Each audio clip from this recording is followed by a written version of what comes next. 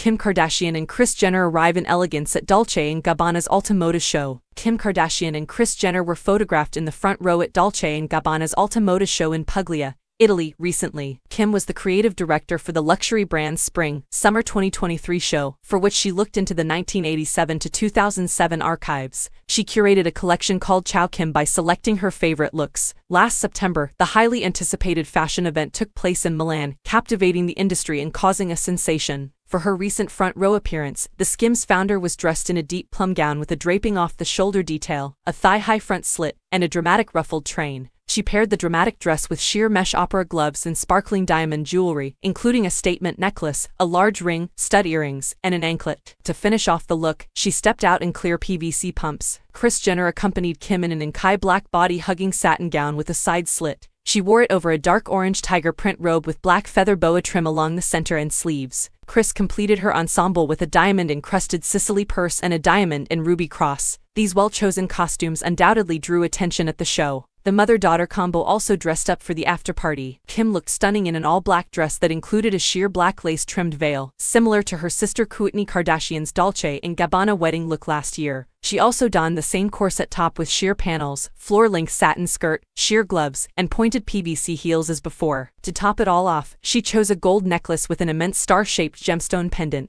This may be Kim's take on a gothic Dolce bridal moment. Kris, on the other hand, was dressed in a see-through lace wrap robe with billowing sleeves and a plunging neckline. Underneath, she wore a matching black playsuit. She capped off the look with a mini black purse. Fans of the Kardashians can't stop wondering if Kim's after-party costume was a dig at her sister Kourtney, who had accused the Skims creator of taking ideas from her wedding in Dolce and Gabbana clothes for her collaboration with the business.